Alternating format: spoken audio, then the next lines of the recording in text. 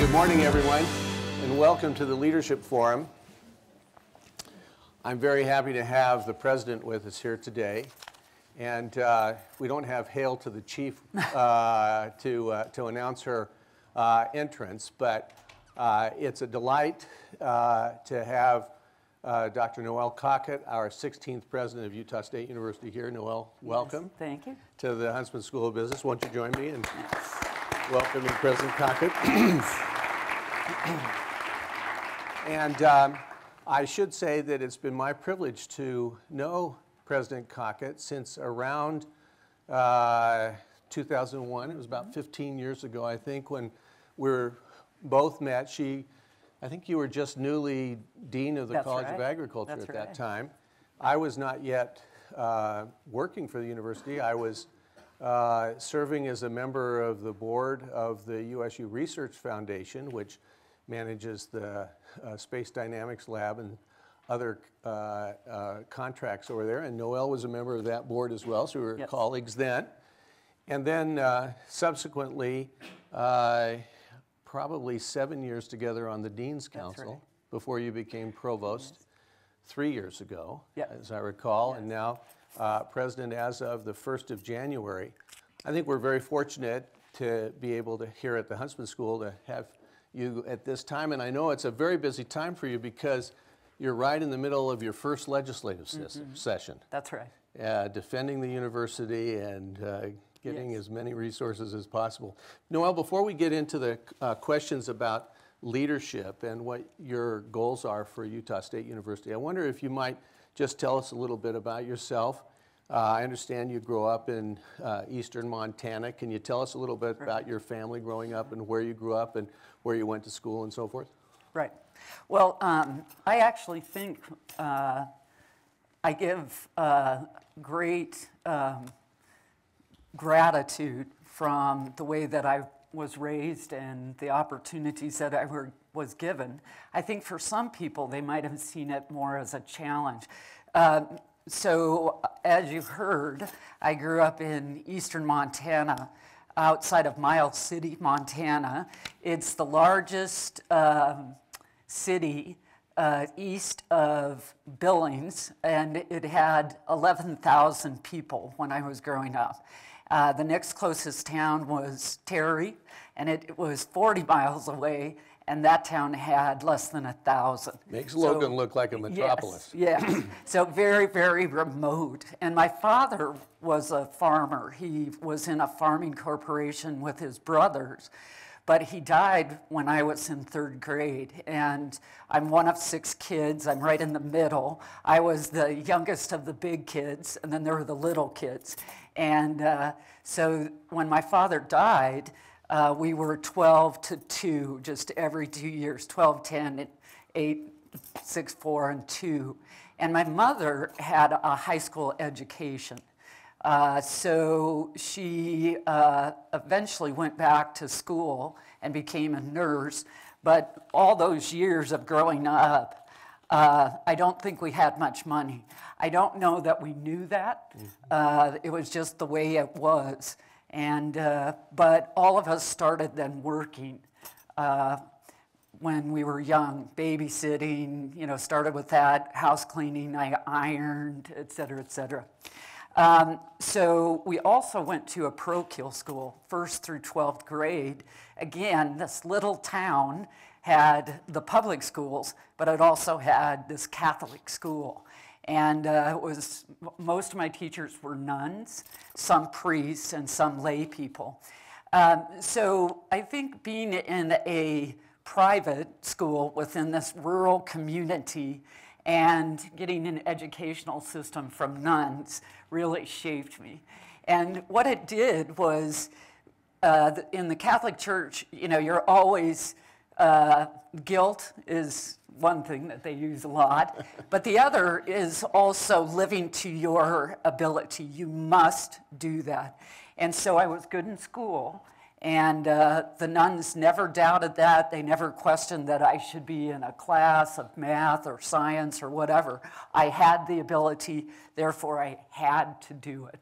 And so um, had a really great Same education. expectations as if you'd been a boy, the Yes, gender thing absolutely. didn't play into it at all. Absolutely. Yeah. Absolutely. What was it like? uh, I want to drill down a little bit on your, your uh, formative experience uh, there. in Miles City, is that the name of the, the metropolis we're talking about? Yes, yes. Uh, Did your mother remarry after your dad died? Uh, she did, but I was in college. She married a wheat farmer from North Dakota, Uh-huh. and I sometimes I can actually hear North Dakota in my my uh, speech. being being on that side of Montana, it does kind of bleed in, doesn't it?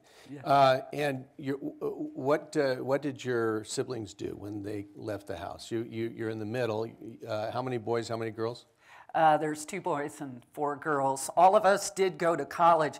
So my mother, I mean, I remember the time when my father was dying, and he had Hodgkinson's disease, which is a, a um, it turns out that farmers actually during this period of time that was actually quite frequent because in those times you didn't worry about pesticides and herbicides and all of those things that you were doing um, so as he was getting sicker and sicker he told my mother that we all had to go to college he had not gone my mother had not gone, gone but he worried so much about um, I, I'm, I can't imagine what it would be like to have six young kids and realize you were dying and to just worry about their future. So to him, going to college was the way that we would survive.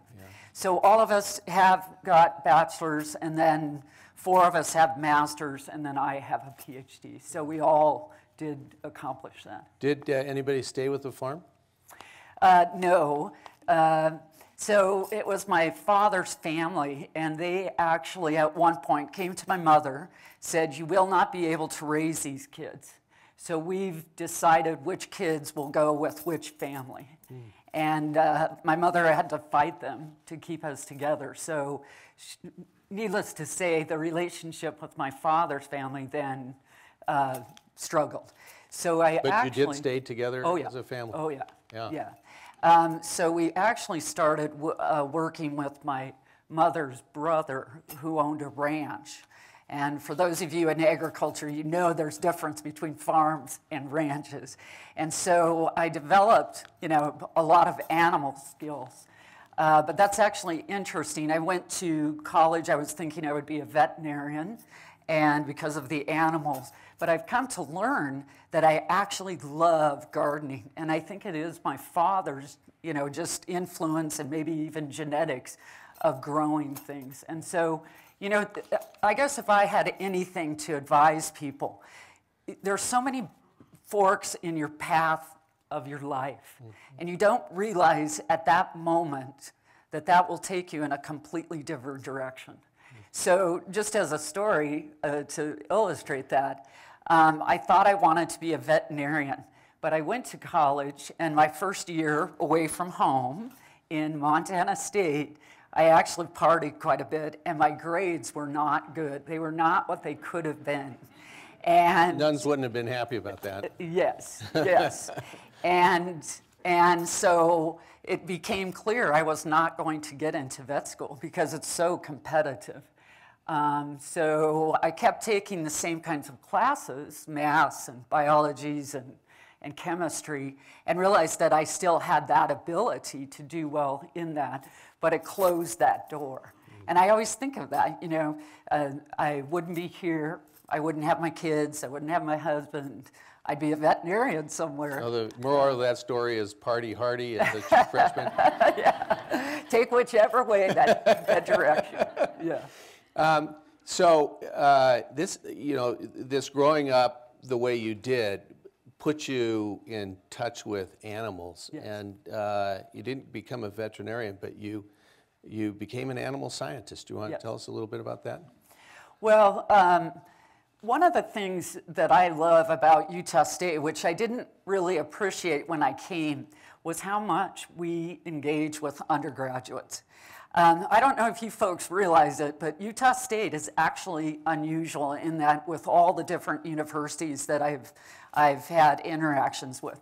Normally, that's a role uh, working with faculty that's reserved for graduate students. Undergrads just go to class, they learn what's in there, and they just go do whatever they want to do, I guess party or whatever. I actually played women's rugby, both as an undergrad and a grad student, so go play rugby or whatever it is you want to do.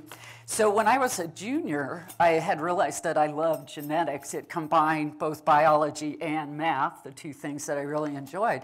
So I went to my teacher, the genetics teacher, and I said, So if I went into genetics, what would I do? And he said, Well, you could become like me.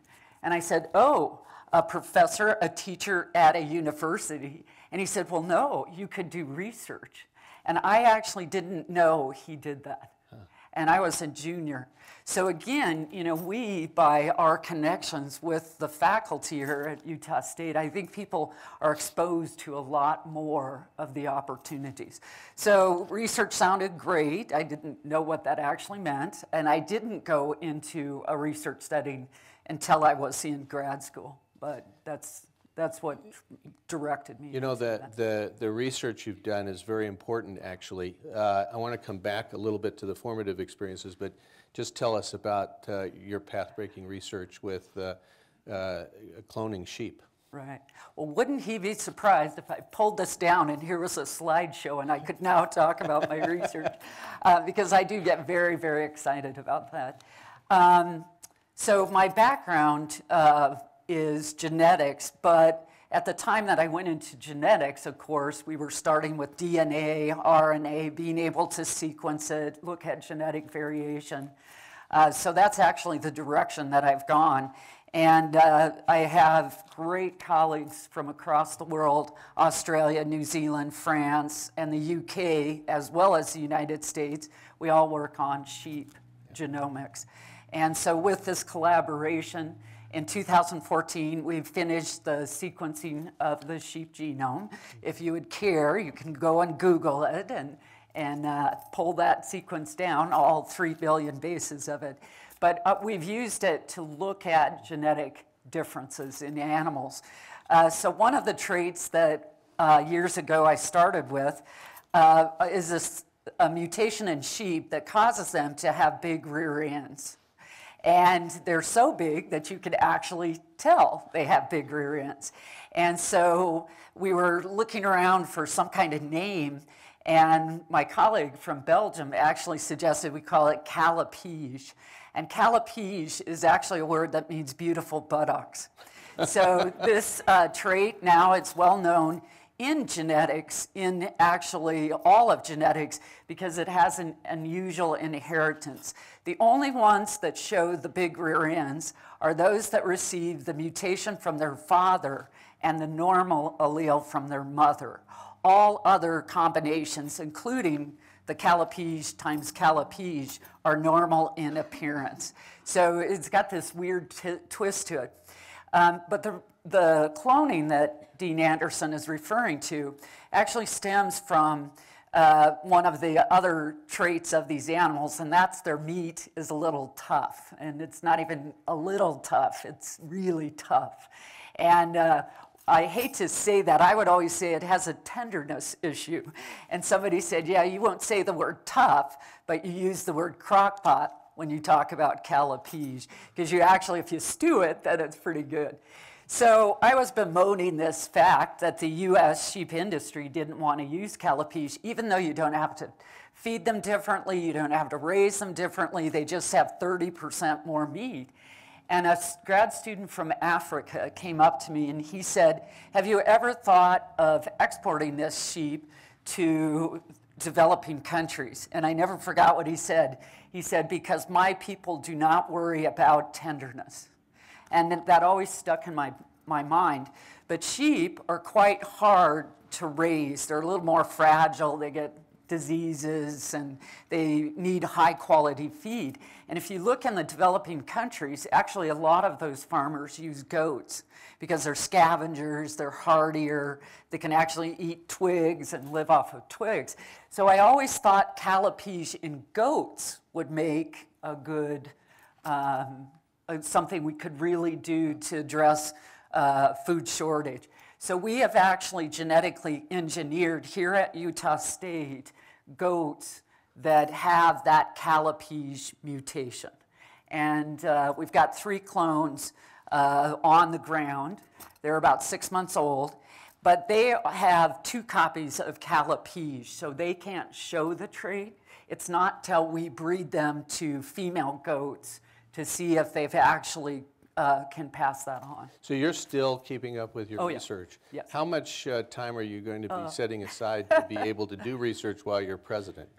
Well, uh, it's always something I do off to the side, but I actually just got back from the American Goat Federation where I was talking about genetic editing and genetic markers. You know, being in an administration in higher education probably doesn't take you entirely away from Callipyge. Right. I think we've seen a few of those in administrations. Callipyge? Yeah. uh, uh, Noelle, uh, talk a little bit about what it was like to uh, start your career here and how it evolved here at Utah State. Well, um, I work hard. Uh, so, working with my uncle, who was a bachelor, he never did marry. Um, and my mother sent my two brothers and I to work with him every holiday all through the summer. So I started working for him when I was in fourth grade. So if you have a bachelor uncle who has a ranch, you don't get to say, I can't do that, or I'm, I, I'm too tired, right? I mean, he just worked us. So I have a really strong work ethic. And so coming to USU, loving research, uh, was just, it was a great, great move for me. And, uh, and getting to do the things I like. Um, I also like to teach, although I have to admit, I actually chose research. I was a 75% research here and 25% teaching. So it was a great, great opportunity. And that you started here in 1990, is that right? That, and when did you finish your PhD at Oregon State? Was it Oregon State? that- Yes. Yeah. Uh, 85. In These- 85. right, you folks weren't even born then. Yeah. I'm thinking, yes. So- it just seems like the other So day. So did you, as I think, I think I remember uh, something about you going to work for the Department of Agriculture, Yes, didn't you? USDA. USDA. Yes. Where was that? That was Nebraska. Anybody from Nebraska? Okay, say what you want about Nebraska. Well, Nebraska is flat, let me say, flat. And there's just mile after mile of corn. That's what they plant there. So when it starts out, you know, it's about this tall and you can see everything. But by fall, it's taller than the car. So you just drive down a, a road and all you can see is corn on either side. What drew you to Utah State? Well, the outdoor, Yeah. the outdoors. I think Utah is beautiful. So you play beautiful. rugby. Uh, what other sports do you like? skiing, hiking, biking. How about Oh, John, your brother, or your husband? How about John, your husband? Uh, what does he like to do? Uh, river raft, kayak. So And and Camp. and he also was at Oregon State. that's where we met. And as I understand, he played lacrosse. Is that right? yes. So you were a couple of jocks uh, hanging out uh, together. Right, right. Yeah. Yes. Love at first sight. Yes. Well, uh, another word at first sight for me, my husband. Strong attraction. Let's put it that way. So uh, how long were you? How long were you uh, at Oregon State? We were there five years. Five years. And so I was finishing up my PhD, and so I was interviewing for jobs. We weren't married then. And, uh, and I had an interview at Davis, California. So I said, Well, John, you know, maybe you should move there, you know. So, and he said, Yeah, sure, you know, I could live in Davis, California. And then uh, we got, a, I got, a, I did not get offered that job. Um, I'll tell kind of a funny story. So, you know, I'm really excited. I'm interviewing for these big faculty jobs, and but you're a grad student. I'm a grad student, so we didn't have much money, and uh, so I have no idea where I bought these nylons. Like maybe at the grocery store or something. Um, and I'm on this job interview, and these nylons are like begging. I mean, they are actually in wrinkles around my legs, you know. And I'm like in this interview, And I'm, I'm there, and people kept coming into the room to interview me. But I was so self conscious, I never stood up because I'm trying to hide these nylons, right? And so people would come in, and I'd stand there and shake, or I kept sitting, and I would shake their hand, but I never stood up. So it's not a surprise I did not. You know, I just job. want to acknowledge that uh, this is the first president of Utah State University to ever talk about uh, her interview uh, with nylons. Yeah, yeah. You are the first female president. Let's say, let's just sort of state the obvious. Uh, wh- what does that mean? What do you think? What, what does it mean that you're the first president who happens to be a woman of Utah State University? Well, I think, uh, you know, for me, again, my background never said, you're a woman, you do this or you don't do that. I mean, that's just whether I was at the Catholic school, whether I worked on the ranch, um, you know, all of those things. I've never held that as um, something that makes me different. But I also realize that my story, I hope, can convince other women that they can also reach their dreams. And so I've just never, I love being a woman and I love all of the things that it allows me to do, but it's, I've never seen it as something that's um, special, if that makes sense. Yeah. So one other question about John, uh, and then I want to come back to what it means to be working in administration and leadership at Utah State.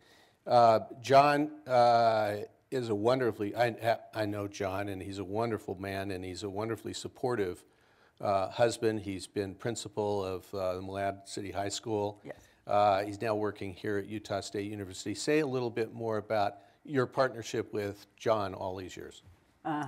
Well, what I was saying about the story about Davis was he agreed to move with me to Davis, but I didn't get the job. Instead, I was offered a job at Oklahoma State, which is Stillwater, Oklahoma. But by then, he had already committed to going with me. Um, neither of us really wanted to go to Oklahoma, so instead, I took the job in Nebraska.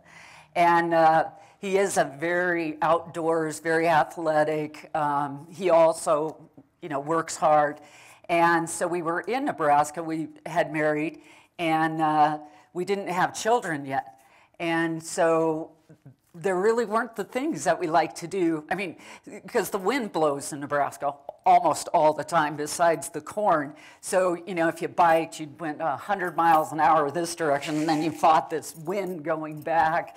Uh, even when it snowed, all the snow blew into Kansas. None of it stayed on the ground. So we were really struggling of what we could do for recreation. So we worked a lot, even on the weekends. And I knew it was time for us to move from Nebraska when uh, one Saturday we were talking, oh, let's not work, let's go do something. And Jen, John said, I know, let's go to Lincoln and go shopping. and I was like, oh my gosh, we need to get out of here if my husband wants to go shopping. So, um, yes, it was time for us to come back west. And uh, your two children were actually born Here, after you came here, here, right? yes, Yeah. yes. Uh, you want to say something uh, just about your son and daughter? Well, uh, Dylan is 21. He's in, uh, it's, a, it's a stackable credential, is what it, it's something that Utah State is the only uh, institution here in Utah doing it. And it's where you can go to uh, Applied Technology College, Bridgerland, complete a 900 hour program, and then those hours transfer into credits here at USU. So he's in an Associates of Applied Science and General Technology, uh, welder. He's a welder. And then my daughter's 16 in, uh, in at Mountain Crest.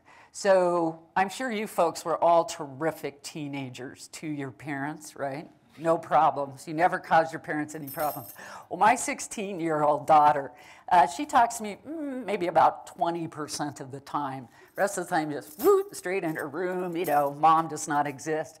So I have a story on her when uh, the night of my announcement that By I was By the way, let me the just let you know, this is being taped. Oh, we might want to edit this out. She would not like me telling this story on her. Um, so, uh, so the announcement that I was president was happening, and she came up to me and she said, "Mom, I'd like to get a picture with you, and I want to post it on Snapchat." I said, okay. So she holds up her phone and she's turning it, you know, and she's fixing her hair and you know, whatever. And so I, I stick my head into this inner space there and she clicks the picture and I said, well, don't I get to fix my hair? And she looks at me and she says, Mom, this is not about you. so. Well, we'll have to ask Chantel for permission to keep, put that on our website, but that's a great story. Um, how, how long were you, back, back to USU now, how long were you, uh, was it before you got drafted into uh, a leadership position here at USU? Well, so I was on kind of the fast track here. So usually it takes um, six years to get tenure and then X number of years after that to go full professor. But I actually got tenure in three years and then I went to full professor in three years. So I was full professor when I had been here six years. So then three years after that, uh, the, they were looking for an interim dean of the graduate school, and I had not done any administration. And the dean of agriculture at that time called and said, Would you like that position? And that's another one of those forks, right? I didn't really realize where that would take me. And I said, "Hmm, Yeah, that sounds fun. That's actually what I said.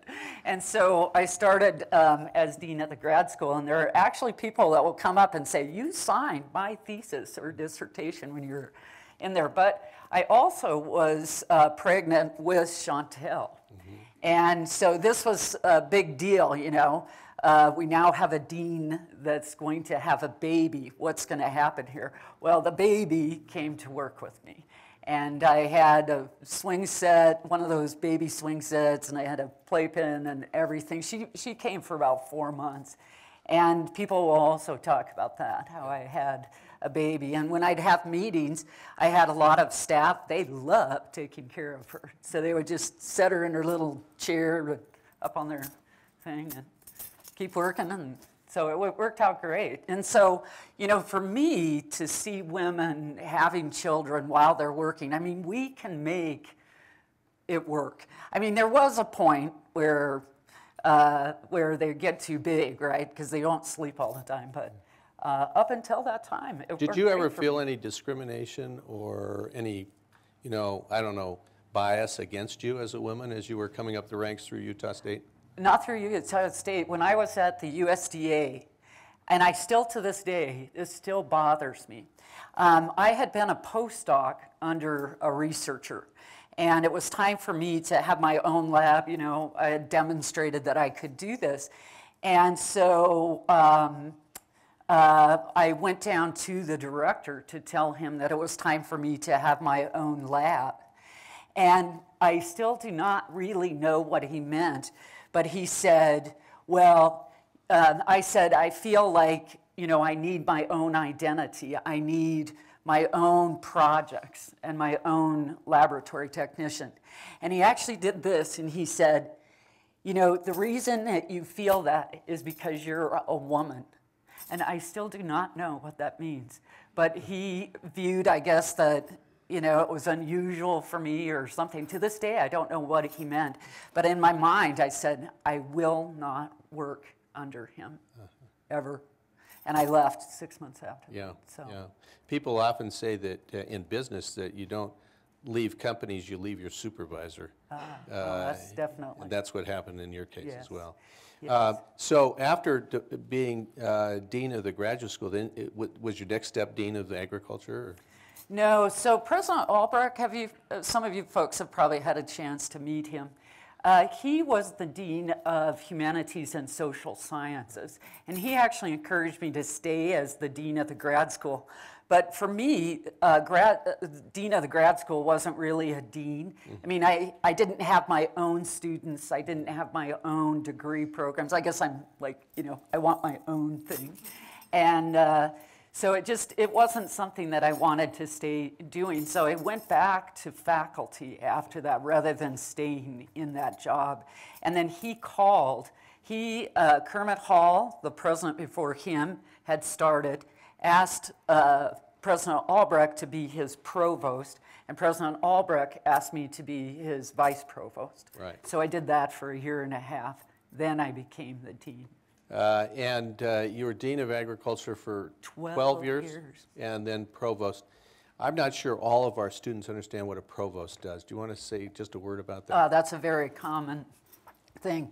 Uh, I would say they're over the academic side of the university. So, as a land grant, we have three missions uh, research, teaching, and outreach.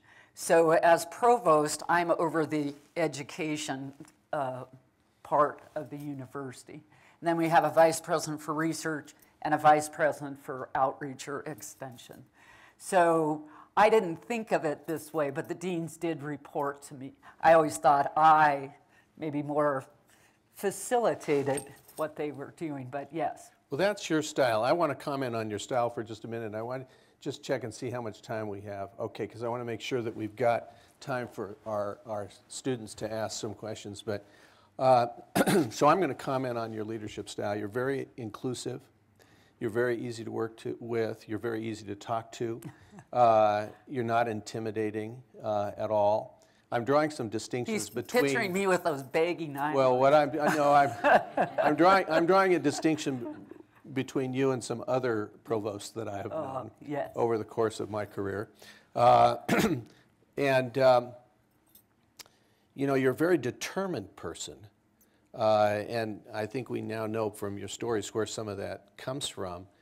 Can you talk a little bit more about your style uh, of, of sort of being inclusive and, uh, uh, and, and wanting to make sure that everybody has a chance to be heard? Say a little bit about where that comes from. Well, I'm thinking of an interesting way to answer that. Now, remember, I'm a researcher and I do genetics. So I work with lots of large uh, groups of animals, right? So, you know, sort of observe them, measure traits, things like that. So I think I pull in still all this information sort of on a, as a researcher, looking for the right way to go or the right answer. Um, but I am very inclusive. I mean, I can't imagine knowing the right answer right like that. I mean, that's what we do as a researcher is we're posing a question and then finding the information to get to the right answer. So being inclusive is just my way, you know, to make sure I understand the whole issue and all that it contributes. And then as I've moved in these different administrative positions, that research question or that question just becomes bigger and bigger and bigger because it has more facets, it involves more people, it has maybe in some degree even more impact. So I, I need all that to know that we're moving in the right direction. The other thing, though, it's hard for me to say I. I've noticed that about me. I say we. We need to move in the right direction. We need to come up with the right answer. Um, the other thing is the ability to change my mind. I mean, I may go in, think I, I know what the right answer is, but, but realizing that more information could change the direction I go. You're a very self-confident person. You're, you're, I, I will, Really? I don't want to embarrass you, but, but you're also a humble person. Uh, and there's a combination of strength, uh, but modesty ab- about you. Um, uh, uh,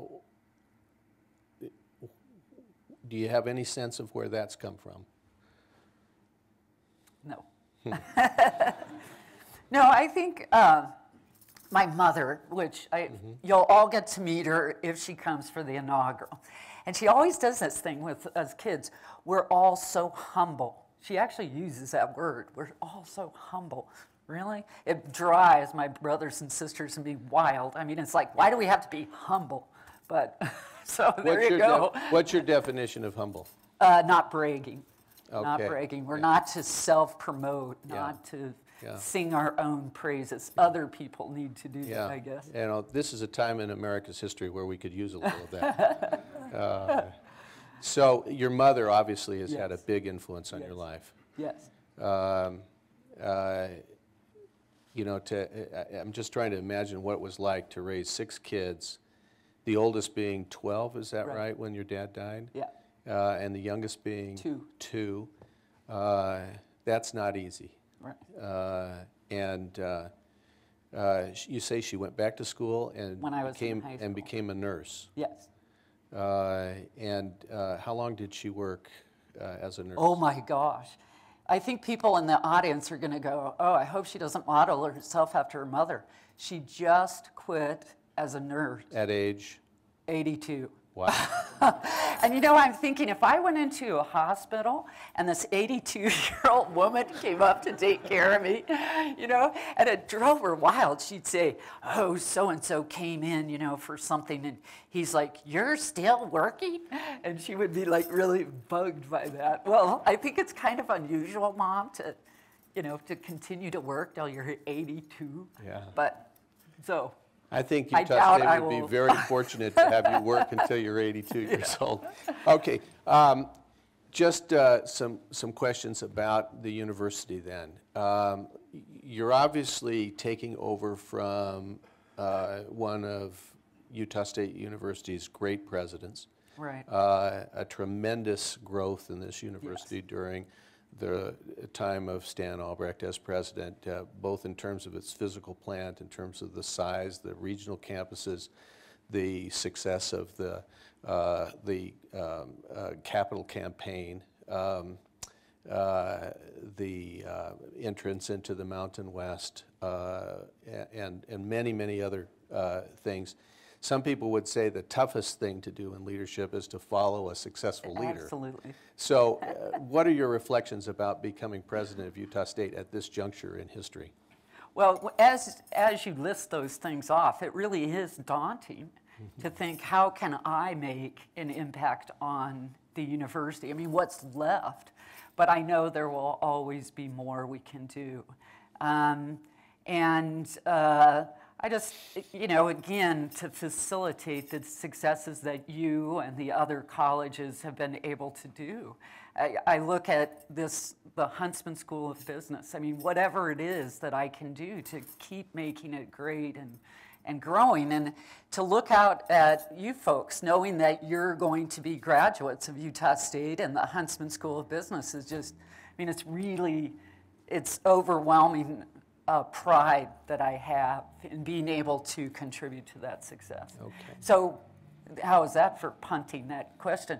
I mean, that's the problem. I'm not not a problem, uh, but it's just keep keep things going. Well, I think Keep it is a, a challenge Yeah. to anytime you're following a success right. to think about what the next uh, mountain is to climb and, and, and so forth. But I'm taking from your point that uh, there will always be opportunities to improve, that we're never done. Right, You know, that it's, there's, exactly. the journey is a never-ending journey Right. of uh, growth and development, and, uh, and the opportunities will present themselves uh, along the way. That's absolutely. Uh, Do you, are you, are there any particular concerns that you have right now about the state of, of, I mean, it's January, so we're talking about the state of the union and the state of the state. Are there any particular concerns you have about the state of Utah State right now? uh, concerns. Um, you know, I, I see uh, our students are changing more. I mean, it's, it's hard to really describe this, but I did start in 1990. I was teaching. I stood up in front of a class and lectured for 50 minutes. And, you know, at the end of that, everybody would shut up their notebook and walk out. And today's student does not want that. Um, and it's just, it's the whole um, electronic age. I mean, what I was giving to them, they could now just go out on Google and pull it down. So, you know, how are we creating uh, an educational opportunity that carries our students beyond just knowledge.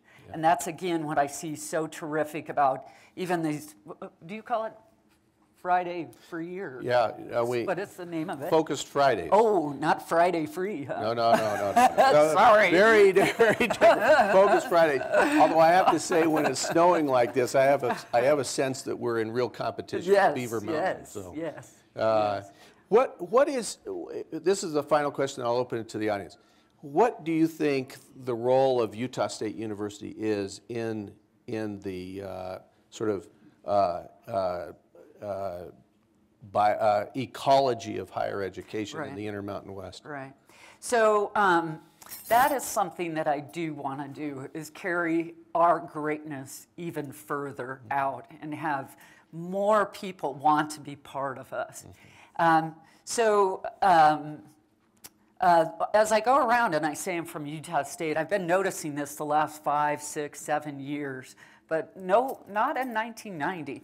Um, when I go around and say I'm from Utah State University, everyone, eh, there's been one time that someone has not referred to themselves as I'm an Aggie, and they say it with great pride and they say it with great pleasure. And I thought about this. Now, I probably wouldn't have said this anyway, but I went to Oregon State, right?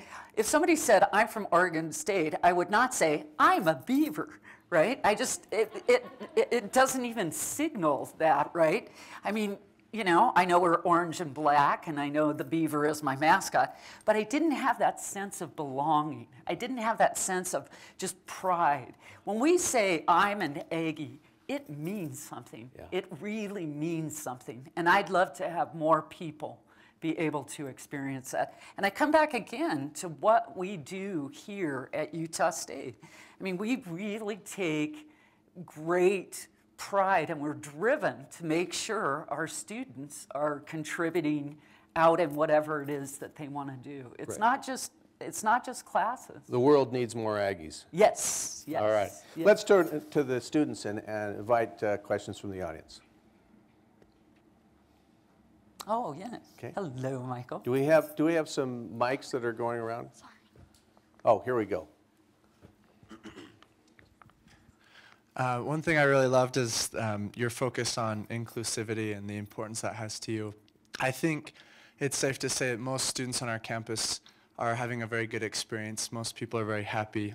And I'd just love to hear your thoughts on maybe helping our minority groups on campus feel like they belong. Right, right. Um, yes, I'm just looking out here, seeing how much diversity we have. Um, wherever we are and whatever we do, we need to include people. And I think um, there's so many great things that are happening here on campus that all of us could benefit from and enjoy doing. And in that, get to know people of different faiths, different races, different ethnicity, and from that grow. Um, so it's, it's just about I'm an Aggie. You know, let's make sure we all feel that great pride. Um, my life has been enriched by traveling around to different countries, meeting different people, working with different people. And, and you know, I, the only thing I can, this is one story of, you know, America is, is revered in many, many countries. And someone said, you know, when my country, it was Australia, when my country elects a new president, nobody even pays any attention. When America elects a new president, everybody in the world pays attention to it. So I think we're given an incredible opportunity, but with that also comes responsibility to be able to see things through uh, other people's eyes, other people's culture, other people's um, backgrounds. And so, this inclusivity that we can do here on campus, I think, can also help us go out and do things better. So, um, so we're working on a few different things that I'd love to have our students engaged with. Um, I think our community also could benefit from embracing what we bring to Cache Valley, which is different cultures, different backgrounds, different faiths, et cetera, et cetera. So I hope that all of you will help me with that.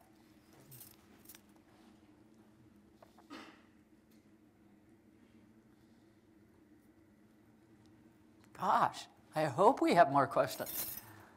I can always tell more stories too. Uh, Madam President. Yeah. Um, so- it just sounds good. Like Yeah. I just have to say it. Uh, That's the first time anyone said that. Thank you. so my name's Colin Marsa. I'm, I'm here in the Jon M. Huntsman School of Business, and I just have a question for you in regards to to campus safety, Utah State is a relatively safe campus. Right. You know, but things still do happen. We're no different than any other university or any other state with being in Utah. But do you think that Utah State will ever hire more university police officers as in regards to, you know, things may happen. We don't know, but there could possibly be a situation that we may need to have more university officers. I know it's a weird question, but does that make sense what I'm trying to ask? Well, I, I think, um, so we've had, we've been in the news, in fact, national news recently for some, some sexual violence incidences. And I think what caught Utah State by surprise was that it actually happens here. I think that was our problem. You know, we thought, wow, we're really safe. Surely those kinds of things would never happen here. So if there's any benefit from what has happened is now we talk about it. And we can have conversations with our students, with our faculty, with our staff. Don't think this may not happen to you. Do not think this would never happen in your life. And so it's through awareness that none of us can really be insulated from those kind of things that will make us stronger. So I'm not sure it was, this type of incidence is absolutely uh, going to be solved by more police officers. What I think it is that all of us need to be active in keeping ourselves safe and keeping others safe. So again, it's a bit like the inclusiveness. We all need to take responsibility for that. So if you see something that's not quite right, walk up and ask. Um, you know, I think that's something we need to do as people to engage, to, to pay attention, to really um, be active on. So, um, you know, I, I've never heard that we actually have a shortage of police officers. Um, I'm not sure that that, that would necessarily uh, solve some of these issues. What I think we have to do is all of us need to get more engaged in those kind of circumstances. So that might have been a little bit different than you thought I would answer then. Oh, it- it answers my question. I was Okay. wondering what your thoughts are. Okay.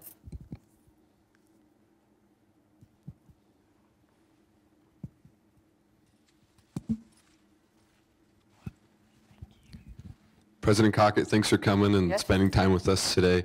Um, I just have a question about how you continue to become a better leader.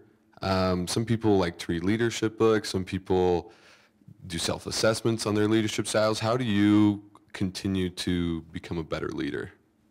Or what do you do to try to enhance your leadership skills? I really think it's giving time to it and really thinking about it, you know, solving that, um, those issues. Um, you know, I, I've one, I have a couple tips about leadership that when I'm asked to mentor people, one of them is don't force a solution, okay? If, if it isn't right there and it doesn't seem like that's the right answer, you're not ready to make that decision. So give things enough time. So as I move up in leadership and as I spend more time on bigger problems, I've got to really spend a lot of time thinking. And so make sure, I guess I have to make sure I'm giving enough time to being a leader. Um, I worry about that um, because some of the things that I dearly love, I may not have time to do as much. And that's, that's something research or gardening or skiing with my family. I do worry about that because, uh, because leadership itself is now, you know, going to take even more of my time. So if I did have a bit of advice, it's give it your, your time. Make sure you're thinking about it and how you can move forward uh, better. Some people have observed that as you rise in a hierarchy, uh, the nature of the problems that you are facing change and become more difficult. That Right. If there were easy problems, they wouldn't Right. get to your That's level. That's absolutely right. And uh, uh, so you're, you're going to, you are being confronted and have been confronted already just in this short period of time since you were selected as president with some challenges that you hadn't faced before. So some of these are brand new for you, right? Right. Well, so I had been in the job, so it was very anticlimactic, right? The shift from one president to another. So President Albrecht came in, closed his laptop, you know, we fed him pizza, he gets in his car and he drives away, and then I moved my computer into my office, and now I'm the president. So it was very, you know, you know, it wasn't like a real big special moment. And so the second night, I was at a men's basketball game, and it was the really snowing. This was the first time it really snowed. And I looked at my phone and I had a text from the Dean of Science, and she said, Are we closing the university tomorrow? I'm getting lots of questions about that.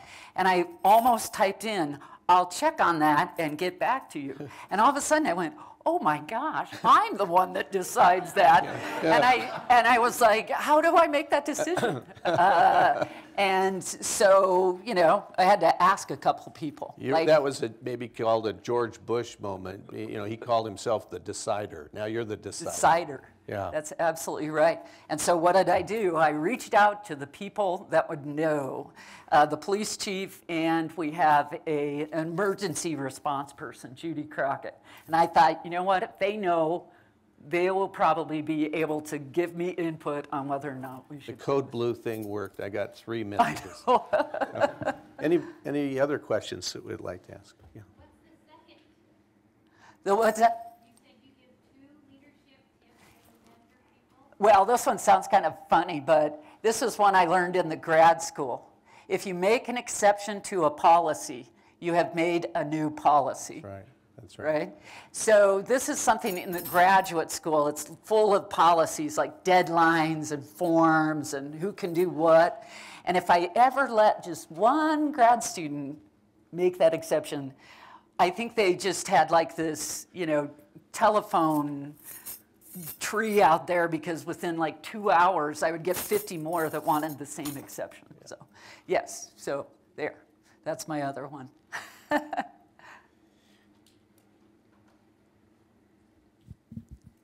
you.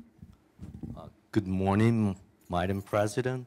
Thank you. And my name is Narsin Orta, and I'm a student from the uh, cooperative program between the Oh, uh, China. Northwest University and Yeah. USU.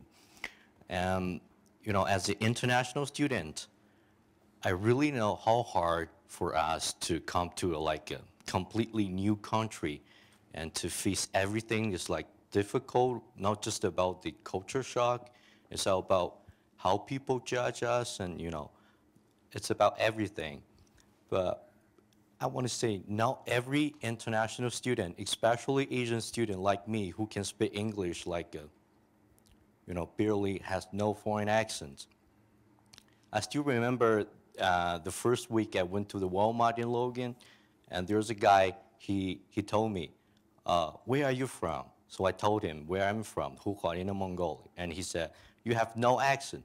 Oh, So, so I told him, uh, really, I do have some foreign accent, right? But finally I said, okay, I'm Irish. So I gave up. and I want to say, uh, from the, from the, uh, the first day I got into the Utah State, the, this campus, uh, I got the uh, encouragement by the uh, Dean Anderson and he told me some examples about his Asian friends being successful in America. But what I'm curious, not every Asian student like me can get the encouragement from the president or the dean. Uh-huh. So I wish, how can you do to give us more support in the future to get us to in, involved in this beautiful campus or in this town, like, you know, easier? So that's what I'm curious about. Well, I just want to say you've given us an example of how, of how we can do this by standing up, letting us meet you, hearing your story. I have a feeling that people are going to respond to you, want to get to know you more, et cetera. So I think just, you know, we all need to reach out and meet others. And so I actually will have some ideas for different ways that we can mix cultures and mix people. I love that we have International Student Council, and I love, you know, our different clubs. But we, we need to do is embrace those, not just let them be. Does the, are there, is there an association of Chinese students? Yes. Uh, yes.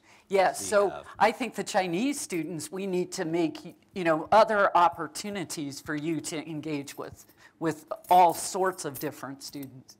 It's this whole idea, we're a melting pot, we're not silos.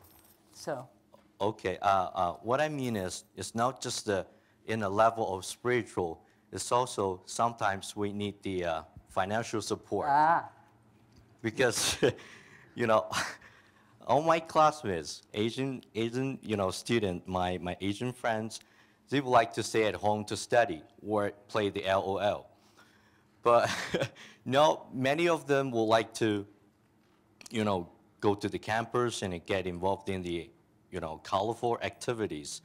So but still you know some of the students they work really hard but they will have some financial problem about continue their schooling Right, so right. that's one of another problem all right. Yeah. All right, thank you. We have time for one more question, and then we're He's going had to his take a arm break. up. Oh, down, right down here in the front.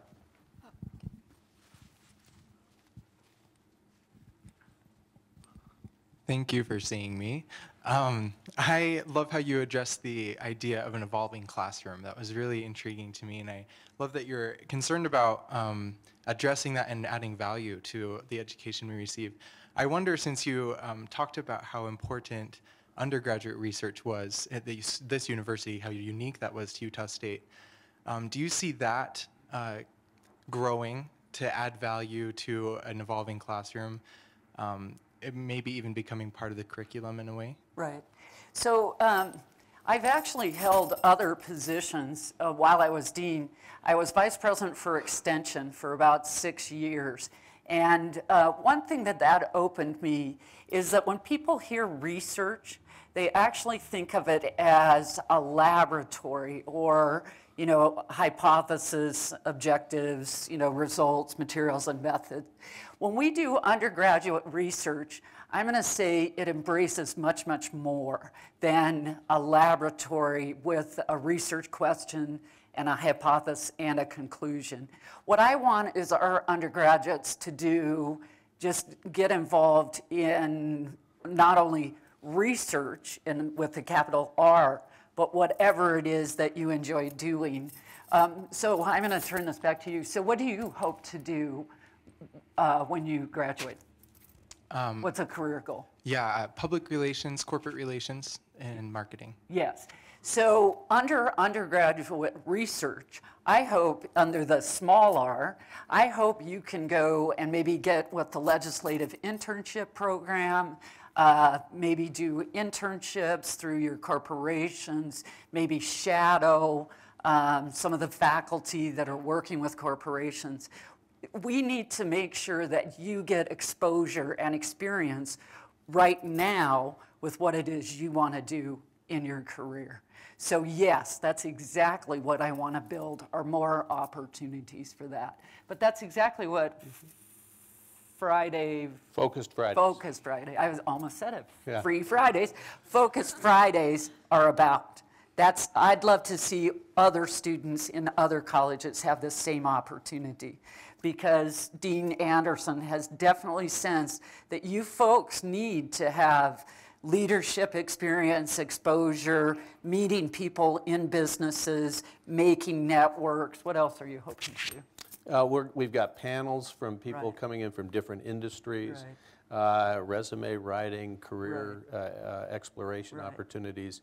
Uh, it- Probably nothing, however, more important than the opportunity to hear from the new president of Utah State University. So thank you for coming. up the time. Thank you for coming and spending this hour with us. Right.